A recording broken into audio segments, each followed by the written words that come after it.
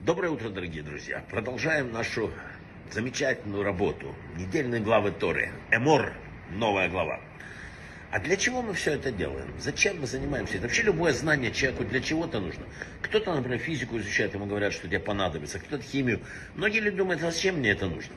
Но широко известно сказанное в святой книге Заар.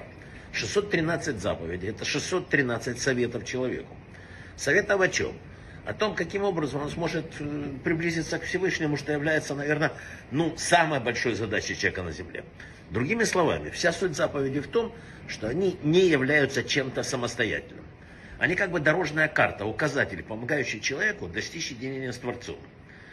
Человеку надо двигаться к Богу, тем более, что, как сказал Янатан Сакс, человек никогда не отходит от Бога настолько, что нельзя было вернуться. Любой человек может вернуться к Богу. Да, многие теряют эту дорогу, но это и есть жизнь.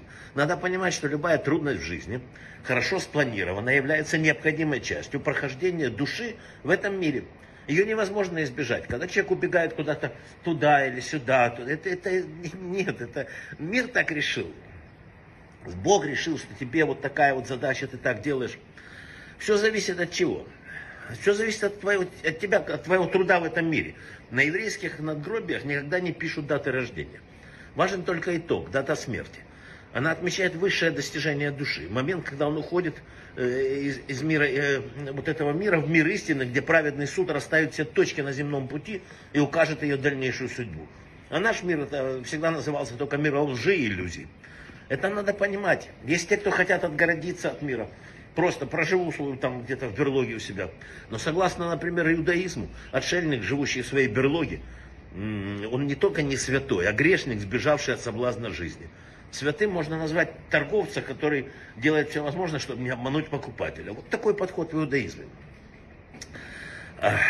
Значит, э, чем больше заниматься Торой, тем легче будет решать э, вот, э, вот эта мировая победа над злом. Да?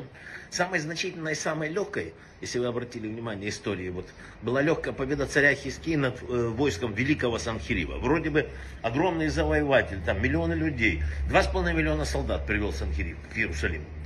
Ночью они все погибли.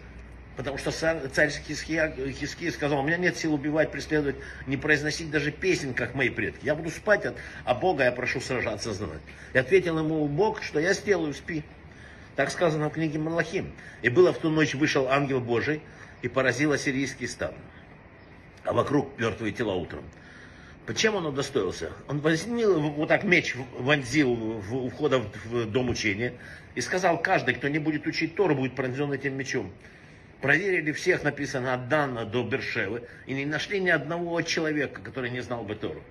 Не нашли мальчика или девочку, которые не знали бы законы чистого и нечистого. Вот какой был мир. И когда мир такой, достаточно лечь спать, чтобы победить врагов.